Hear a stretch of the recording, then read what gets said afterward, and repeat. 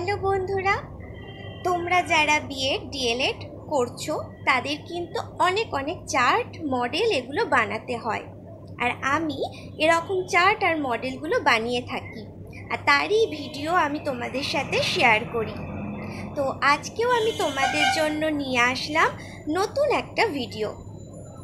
তো বন্ধুরা, তোমরা যদি কেউ চাও এরকম চার্ট বা মডেল বানাতে, তাহলে অবশ্যই অর্ডারের জন্য আমার সাথে যোগাযোগ করতে পারো। ডেসক্রিপশান বক্সে আমি ডিটেলসে পুরো তোমাদেরকে দিয়ে দিয়েছি।